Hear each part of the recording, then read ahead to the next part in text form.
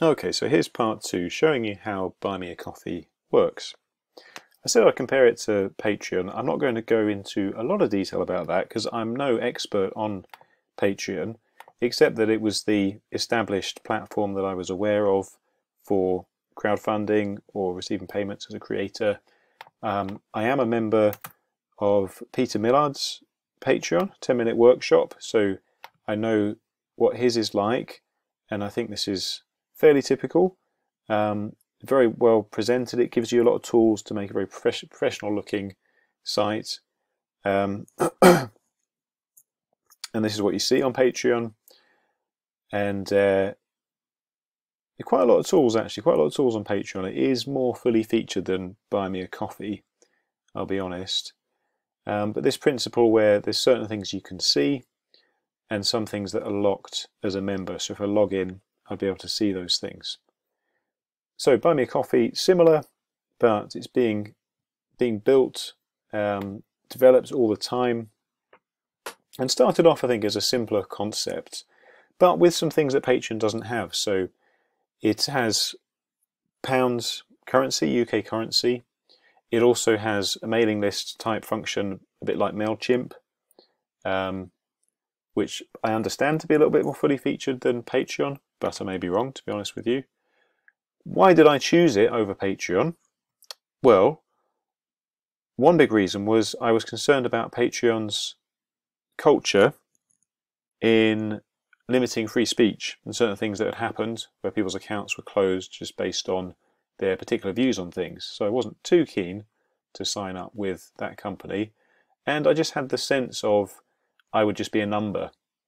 Uh, Buy Me a Coffee was a startup it's, I think, co-funded by Stripe, um, which also has a very, very good approach to um, to their customers, treating people like individuals.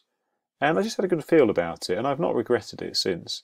So I'm sorry, I'm darting about here. So this is if you just go to buymeacoffee.com, this is what you'll see if you're not logged in, and you can explore creators. You can you can tap different hashtags or type in something like woodwork or whatever, um, I'm just going to go straight to mine because I know it and I can show it you. So you could find a creator like this and this is what you would see if you're not logged in. So um, I really must update that photo, but the creator can have a photo, a little bio, and right here at the top is either the membership option with everything you get as a member, or support, which is the original just like a tip just buy a coffee, buy three coffees, whatever. You can leave a little message. You can choose to make it private, so only only the creator sees it. And you hit support, and you can pay quite easily with PayPal or just using a card. Um, and then down the bottom of the page, you see um, comments people have made, etc. Um, I'm just going to check if those aren't private because it seems a bit unfair to uh, share them if they're private, doesn't it? So, right, those those weren't private comments, but some people um, have commented privately. So, let's see now.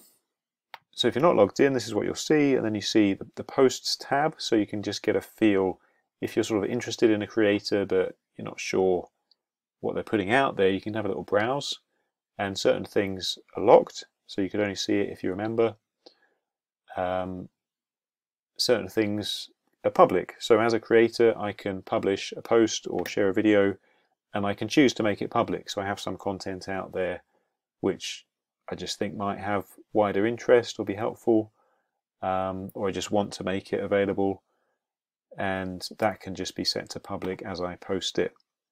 Now, one of the downsides of Buy Me, Buy Me a Coffee at the moment is it is a little less visually appealing as you browse the post. So if we go back to Peter's um, Patreon, you see how each post is quite visual. Um, and it, it sort of tempts you, doesn't it, with an image that's that's fuzzy, or if the post is visible, you see the image or the video as the big thumbnail. That's something that Buy Me a Coffee are working on and plan to release um, soon. just making it all look a bit better. So the membership tab, I've got to be honest, um, seems to be very similar. Seems to be very similar to the posts one, except I suppose it only shows you, well, it only comes up if you remember, for one thing.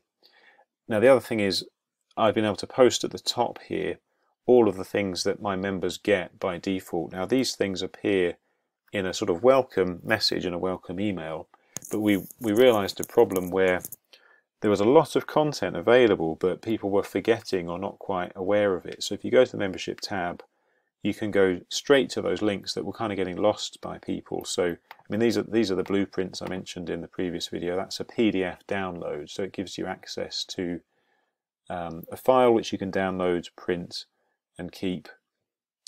Um, there's other files like that dug away in old posts. That's just still loading there, I think.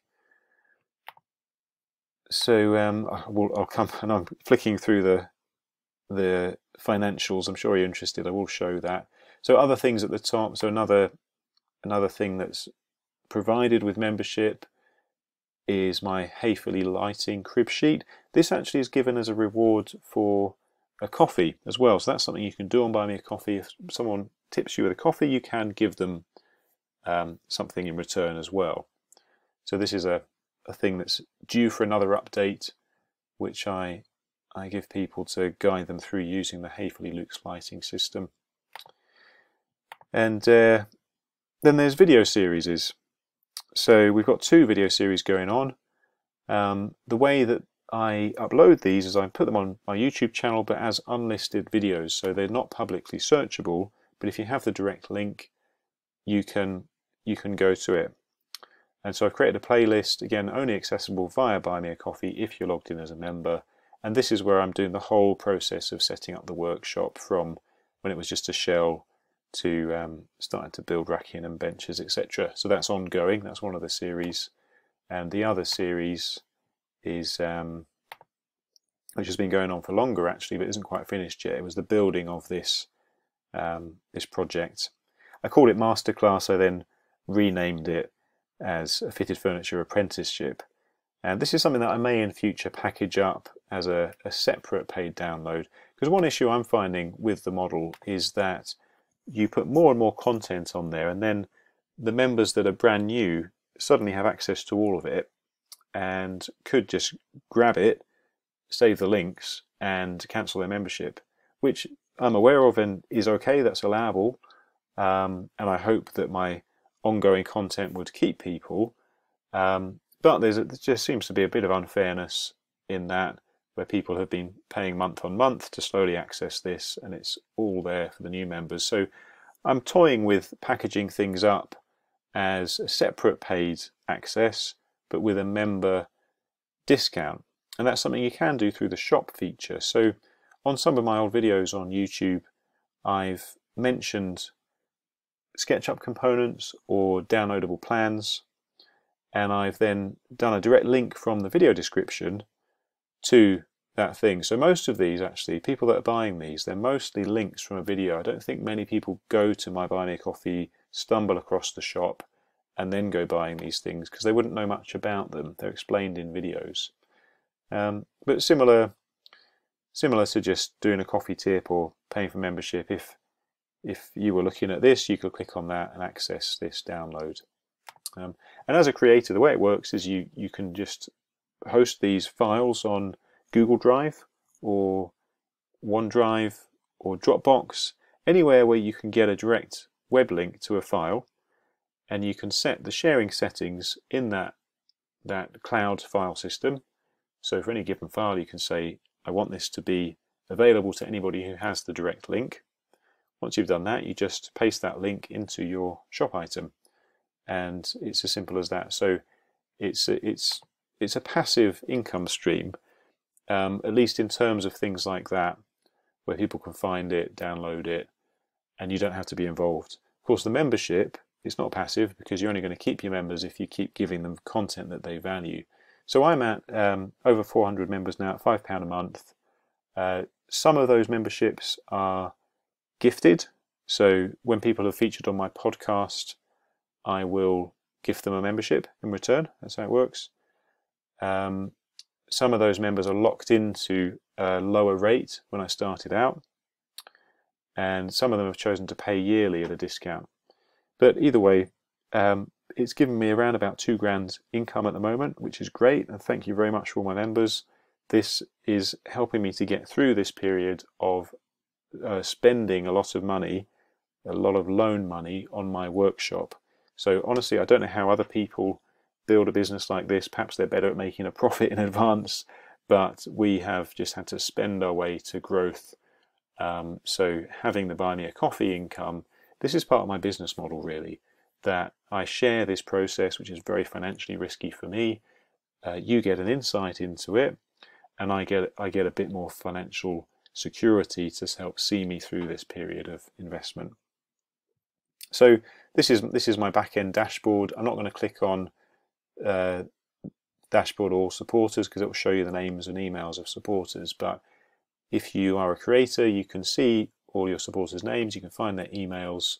You can search them, and you can send an email just direct to them, not as a post. Um, if you want to write a post, you go to posts here and you could go back and edit ones that uh, you've done before. If you write a post, it's quite simple, quite an easy, clean looking editor. And if you were to paste into here a YouTube link, it would automatically come up as an embedded looking video. You can also put images in, uh, cross links, things like that. And then you can choose whether everybody can see it or just members, which also includes them getting it emailed to them, or all supporters, which means members and anybody who has done a one-off coffee payment. So they remain in your they remain accessible in your mailing list unless they choose to unsubscribe. So every email will include an unsubscribe link. There's various other settings here. Uh, there's the shop, so this is where you can add a shop item. It's all really quite easy to use once you get used to it. Um, and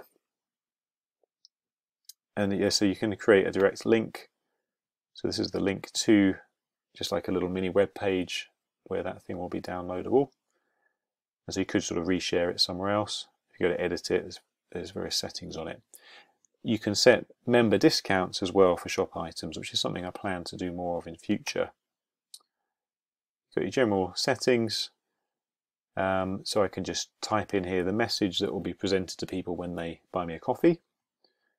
And type in my search term. So if someone lands on buy me a coffee and looks for, you know, they don't know about me, they maybe want to look for fitted furniture on the off chance there's a creator doing that, and they might find me that way.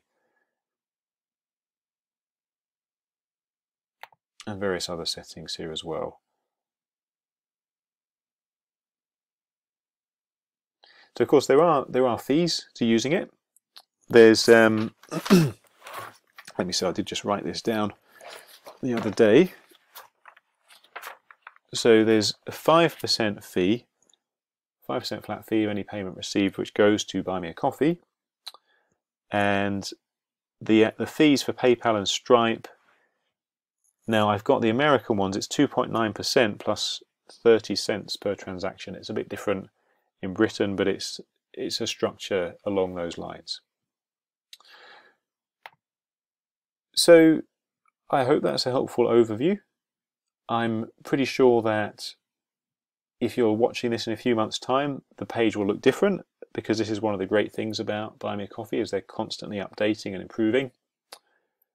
Um, just while I'm here, actually, by the way, the support account at the top is members plus anybody who's ever bought a coffee. So it's not that's not all paid uh, monthly members. So yes, on the on the subject of continuous improvement. Oh, here we go. Create a community. So as a creator, you have access to this community where you can you can give feedback, and they're very responsive to feedback. In fact, they've implemented a lot of things that I have said I'd love to see this, and they've gone on and, and done it. They have a place where you can um, request certain features, and they can be upvoted by other creators and uh, then they get prioritized. So I do find them a very responsive company, and I've spoken to the founder on more than one occasion, and he's always been very helpful. Seem to really care about what they do, and you do feel like you're part of a nice little growing startup with good values. So I, I hope that was helpful. Fairly impromptu, unscripted introduction to Buy Me a Coffee. I welcome your comments and thoughts on it below. And if anybody's got any other um, information about this compared to Patreon pros and cons, please feel free to share it in the comments below. Thanks for watching.